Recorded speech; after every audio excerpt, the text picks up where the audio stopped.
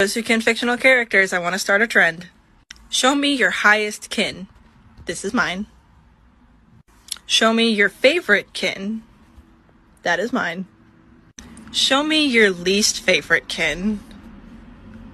Show me the character who you kin that nobody expects you to kin. That would be mine. Now show me the character that people expect you to kin, but you just don't. This would be mine.